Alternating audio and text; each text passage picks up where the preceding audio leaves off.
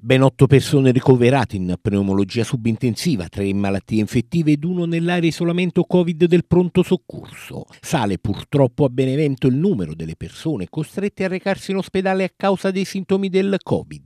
Una situazione delicata e attenzionata dalle autorità sanitarie, in particolare dall'ASL. Tra dubbi e qualche timore, questa mattina a Benevento circa mille studenti sono tornati in classe per la ripresa anticipata di due giorni delle lezioni in presenza. Il sindaco Mastella ha voluto presenziare all'ingresso in aula degli studenti dello storico committo nazionale Giannone a Piazza Roma e dell'Istituto Comprensivo Federico Torre. Si torna in classe dunque tra speranze e qualche timore. Ogni apertura di, di una scuola, ogni portone di scuola che si apre è, è un, un, invito alla speranza ed è un segnale molto importante quello di, di stamattina per la città ma anche per il Paese con l'inizio dell'anno scolastico. Io sono sicura che la situazione sarà decisamente più gestibile dell'anno scorso. Nuove regole per mense e trasporti a Benevento per l'anno scolastico appena cominciato. La mensa parte con un nuovo capitolato, con un servizio di plastic free,